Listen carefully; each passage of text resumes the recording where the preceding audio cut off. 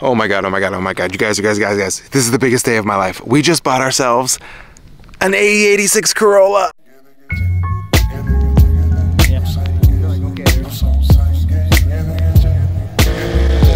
Stop it. We're not saying that on camera.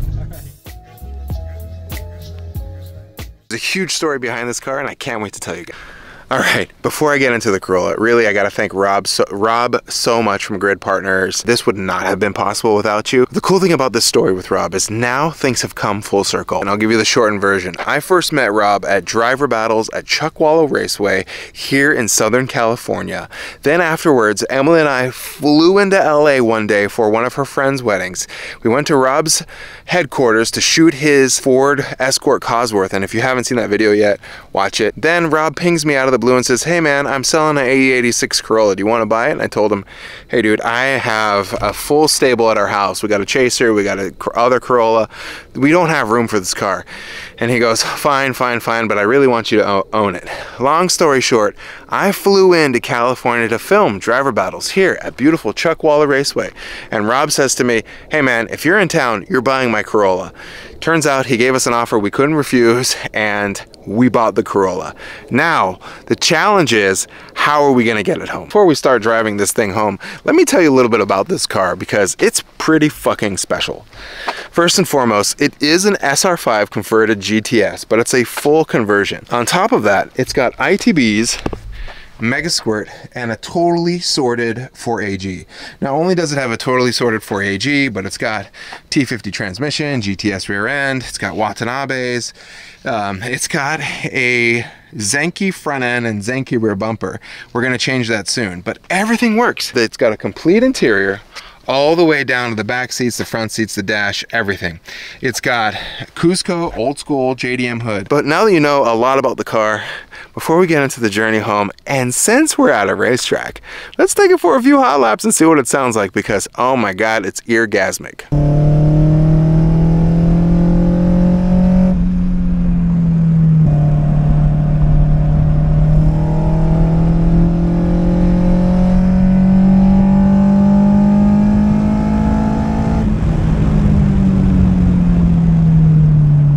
That I got the Corolla, and now that Rob hooked us up with it, we gotta get it home.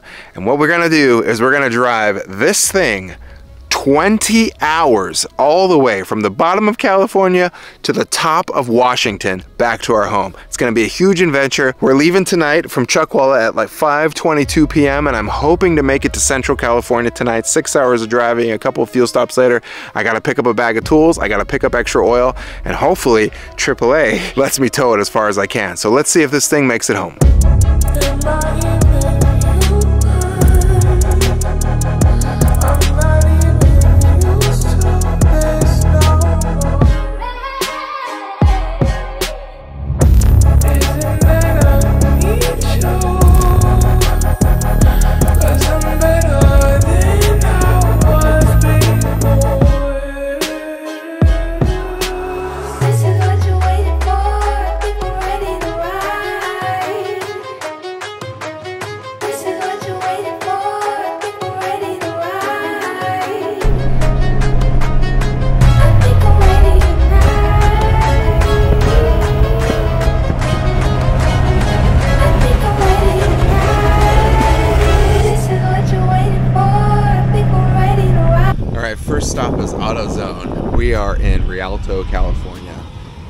Trying to get to Morro Bay tonight. So about six more hours of driving.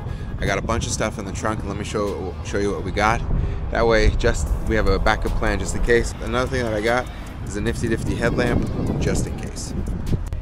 Okay, first stop on the road trip is AutoZone, and we got as many tools as I could think of. We got metric socket and standard socket. I'm sure everything on the Corolla is going to be all metric quick little ratchet set. We got Permatex gasket sealer just in case. We got J JB Weld high heat. We got blue Loctite. We got fuel injector cleaner. We got razor blades. We got a quart of oil.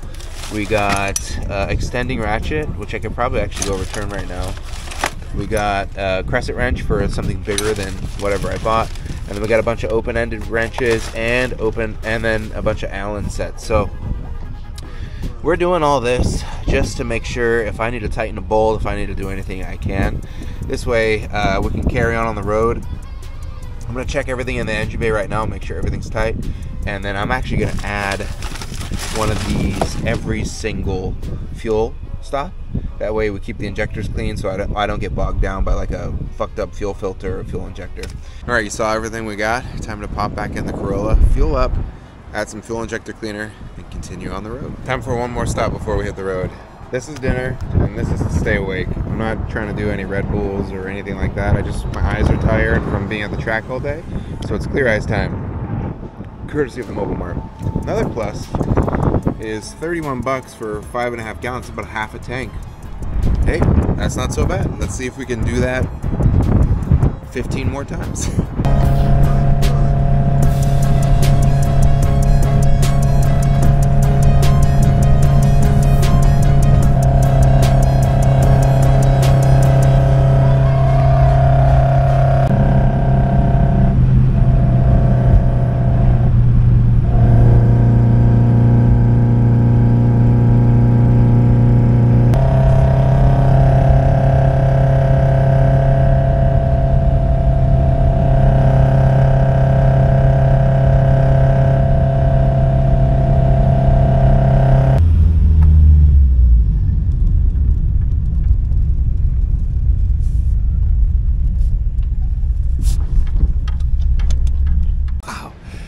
two, we actually made it to Morro Bay. There's Morro Rock.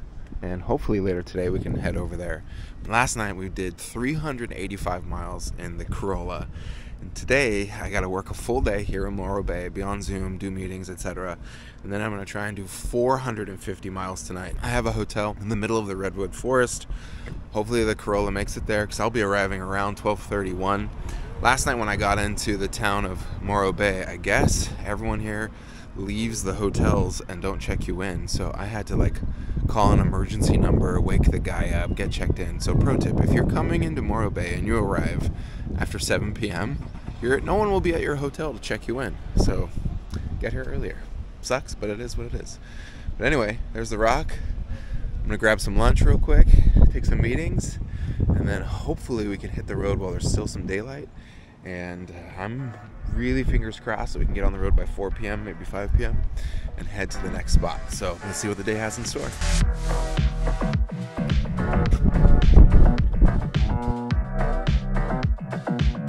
All right, I'm all done with my meetings. It's about 5 o'clock right now. It's pretty late in the day. And we have about seven hours to go before we get to our next stop. It's going to be deep in the Redwood Forest Let's get out of Morro Bay. Let's hopefully get there before it's too late so I can get some sleep. Last night I may have gotten like four hours of sleep. Here we go, on to day two.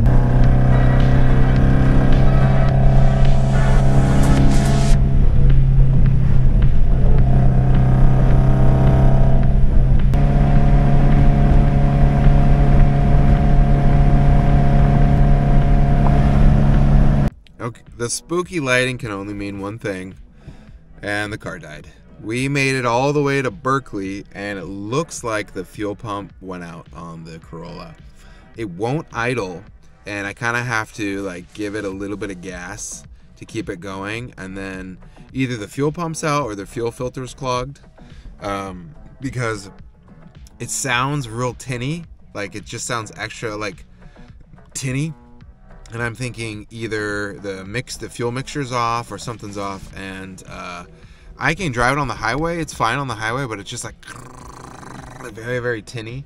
Um, but then, you know, when you're decelerating or not on low, the engine sounds just fine. I think it's just the mixture. Luckily, there's a AutoZone near Oakland that has not only the fuel pump in stock, but the fuel filter.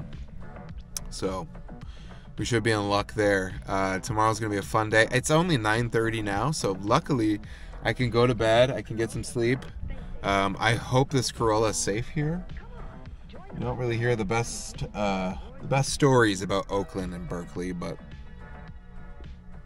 uh, I hope I hope she's fine. I do have a full day's worth of work tomorrow, so I think what I'm gonna do is I'm gonna take full advantage of this.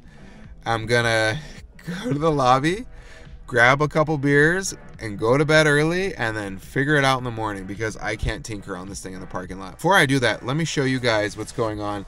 If you're a really, really, really huge Corolla nerd, you could probably already tell me what's wrong before I try to figure it out tomorrow.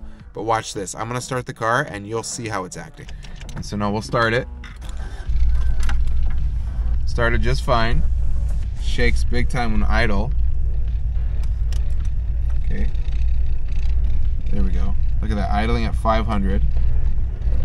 And then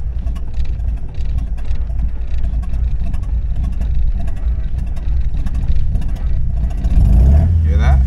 So I can't like stab the throttle. And then if I do, it kind of poops out and it's done. Here, let's try and start it again. Here. All right. And so we're, and it died just like that. All right, so it's not happy. It's not happy. You can hear how tinny it is. Listen. Just like extra. Nothing's bent or anything because it doesn't make the noise under decel. But listen. Just like extra. I think it's either too rich, too lean, or the timing's off. And so tomorrow we're gonna change the fuel filter, fuel pump, and we'll see if we can solve this problem. Okay, it's day two, being stuck at the hotel.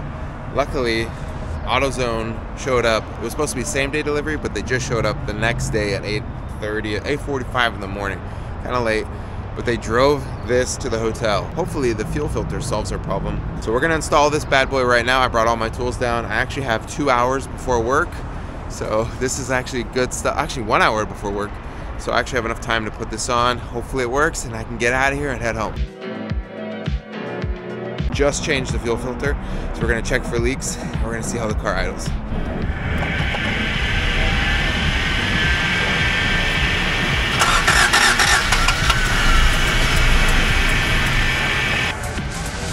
That was gas.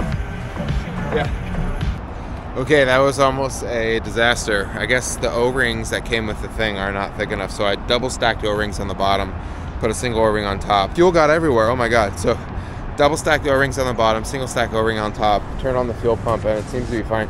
I'm afraid to fire it now. I don't want to start a fire in my engine bay. I don't have anything to put this out. Uh, I mean, I don't even have rags, but I mean, there's just a lot of fuel everywhere. So uh, I'm gonna let it air out for like 10 minutes, and then I'll try and start it again.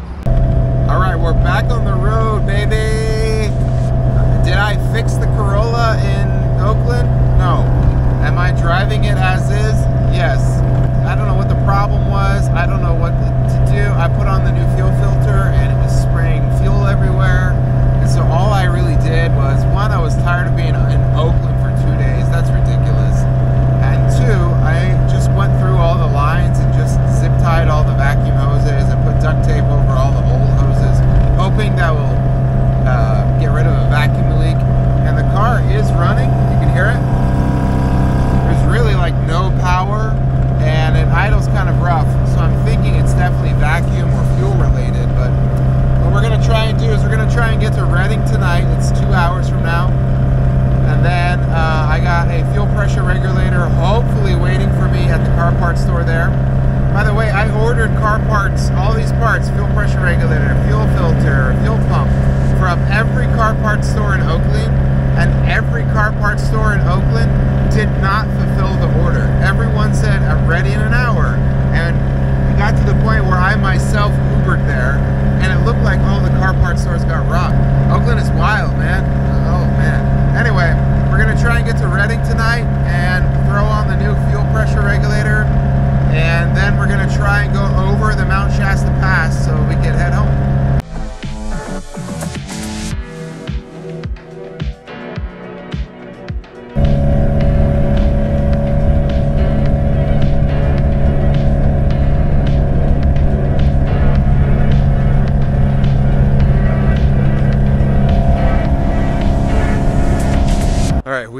from Oakland to Redding, and Emily's gonna meet up with me tonight in Eugene, Oregon.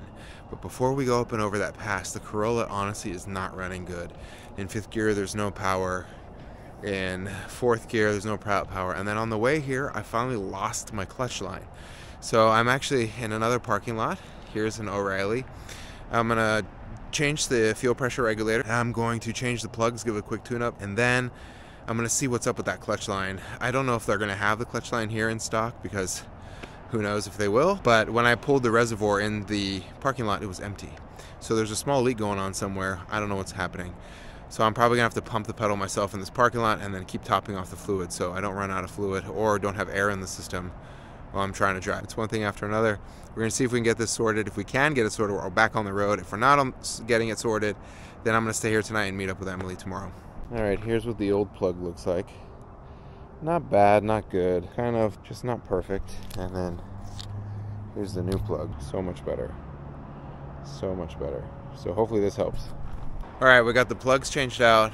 I bled the clutch line. I also uh, switched the fuel pressure regulator. So now I'm gonna take it for a rip and see if she drives any better. We're gonna be climbing a big, big hill, a huge elevation gain. And car doesn't have any power. It's, it's gonna be really, really dangerous up there. It's like 32 degrees tonight. So I'm gonna rip it around the block a few times. There's a gas station right there. Get some gas and then decide whether or not I'm going up that hill. All right, I took it for a rip and it's not good. Like it goes, but it's not like wow, this is fun. It honestly feels like maybe 80, 90 horsepower. This should be like 120 horsepower engine, and it just doesn't sound healthy. However, I've driven it this far, and I think I can make it. The wife texted me the address here. Emily says we are five hours away, 2 a.m. 300 miles. Shit, dude. I, I don't think I can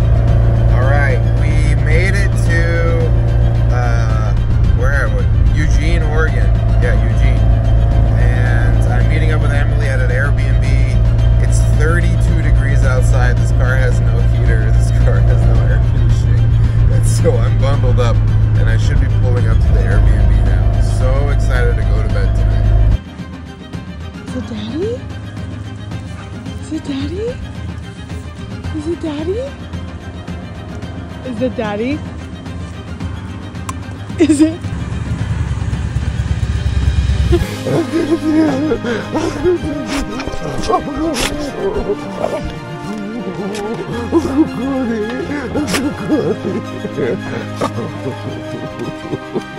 Hi guys. Hi baby. Wow. Wow. It's now day four or five. I forgot what day it was. Uh, maybe five, I think. And with that said, uh, I'm not gonna drive it home anymore. Emily's here. Uh, I don't want to drive it. I, we got the Sequoia. We got the dogs. We got an Airbnb. And so what we're gonna do, we're gonna throw the Corolla on a trailer and we're gonna drive home together. The Corolla didn't make it all the way from the bottom of California to the top of Washington, but that's okay. Uh, at least we're gonna be driving home as a family and we'll get get to hang out and relax and be a little bit more comfortable. All right, let's go get this Corolla sorted and uh, get it on a trailer and get on out of here.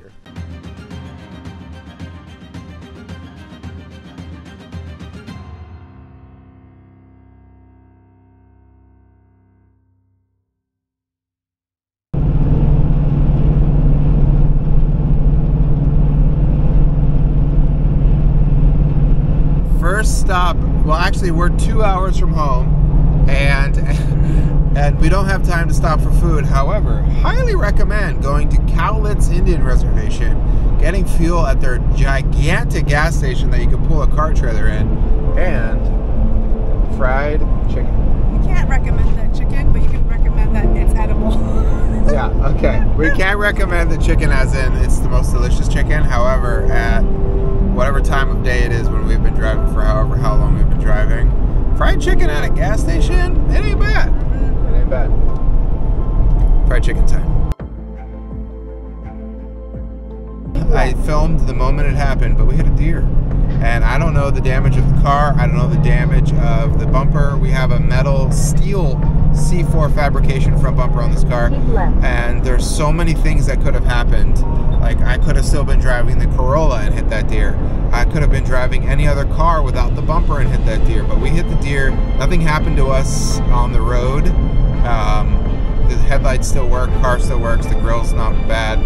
Uh, but, we'll, but we'll see how bad it is when we get into our driveway and, and show you guys it once we get home. But it's time to look at the damage. And we hit it with our C4 Fab front bumper. And if you're gonna buy a front bumper, buy a C4 Fab because honestly, we hit a deer at 70 miles an hour, and the only thing that happened was the bumper shifted underneath the bumper cap there. No damage at all to the bumper. However, the deer spun around and its head hit our door, taking paint off. That's all hair and snot and whatever. And then down to the slider, there's blood. What do they say? Good things don't come easy, and easy things don't come good. And we're home, we're safe. This is a dream car. My God, it's time to finally relax, have some beers with the wife, and just take a load off because what a journey that was. All right, I added some pressure to the cylinder. And so if you crank on it, you should hear if the intake valve is open, which it is now. Now that should close.